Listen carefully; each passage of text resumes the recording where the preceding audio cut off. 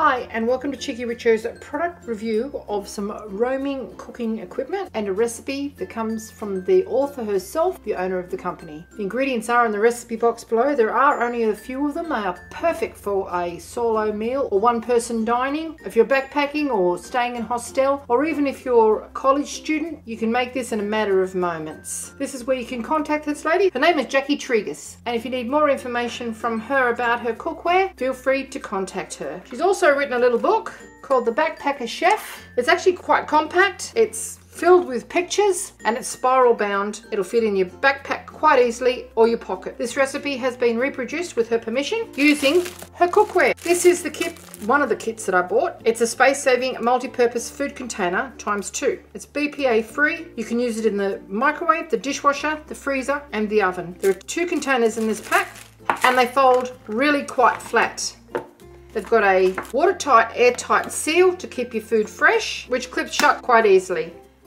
You can hold your food upside down and you can see it's quite airtight. The beauty of this is it won't get damaged in your backpack. This particular one holds 700 mils, so that's good for a salad or she claims that a half sandwich will fit in there perfectly. And it folds down to just about nothing. The one that we're going to be using for this is about a mug size. It's 300 mils and you can cook in this and look how small it is. With a lid on, it only weighs about 125 grams and you can actually sit that in your pocket if you want to. Very easy to clean, no stick, and it doesn't hold any food odors. It's it's a food safe product. Again, it has quite a firm lip in the top of it here so that it won't collapse while you're using the top of it. And it has a silicone seal along the inside here that can be removed in case you get any liquid or, or contamination in there so you can keep it nice and clean. Good quality strong product. Now we're going to be making Jacqui's meatloaf in a mug. The recipe calls for white bread and I've got nothing against white bread. I just don't seem to have any at the moment because we've already used it up. We've had some visitors. So I'm going to be using some lovely grain bread. So we've got some lean beef mince here. Use any mince that you like. Some Worcestershire sauce salt and pepper, some, and some milk. Pop our bread into a little container, break it up a little bit. Now you can pack this when it's cooked with the lid on. Grab yourself some fresh bread to have it with or some salad or a couple of boiled eggs and that is a perfect meal. You've got fiber, you've got protein, not too much fat and calcium. So just pour your milk over the top there. Just let that soak in. Once that's all mixed in and it's gotten quite soft, it will get softer if it's a slice of white bread, incidentally. We sprinkle our Worcestershire sauce over the top.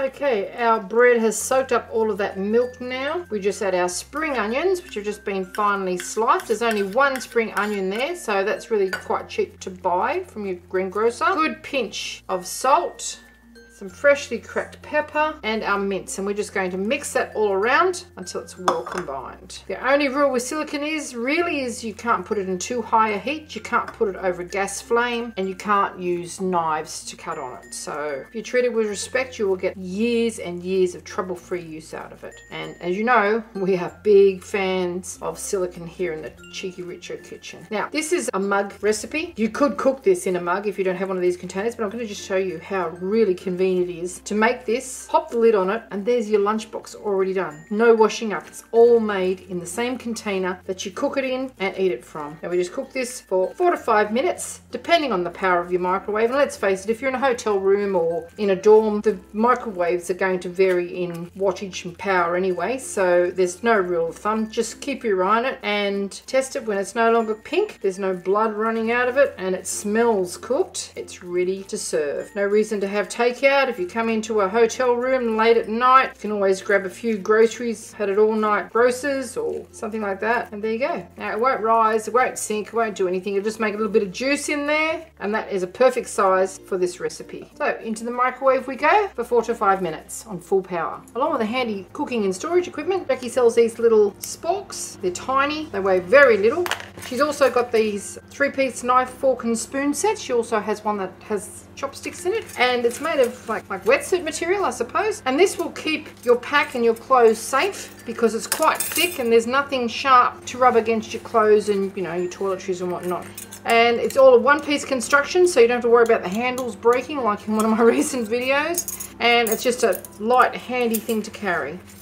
This fork will fit in there as well. Great for noodles and things like that book's nice and light with lots of lovely recipes in there. She's got things from fried rice, hot pot, potato bake, and some of even handy reference guides for the, some of the different vegetables that are called different names in different countries. And also she has some handy hints and a conversion chart, which is perfect. This is the little cup. You just pop it out, turn the handle, and look at that. It squashes down to very little and that fits in your, inside your pack as well. So there's your, your cutlery, your cup, your little container that you can put your cereal in it and a little book. It's absolutely perfect for backpacking or when you're traveling light. Okay, four and a half minutes later on full power and this is what you should have. It's well and truly cooked. It's come away from the sides a little bit. It's not stuck at all, so it's very, very easy to clean. smells really good and it's very good for you. She recommends that you wait about two minutes before you dive in or you can just simply put the lid on it, pop it in your backpack and there you have a delicious meal that's good to go. Just gonna wait a couple of minutes there and I'll show you what it looks like inside. It smells really good and it's cheap as chips to make. I hope you enjoyed this little cooking demonstration and product review of Roaming Cooking's siliconware and cutlery. Don't forget to get yourself a copy of the Backpacker Chef because it's a really handy, ready reckoner go-to if you're traveling on your own. Have a little taste, shall we? We'll just use the spork that she sells.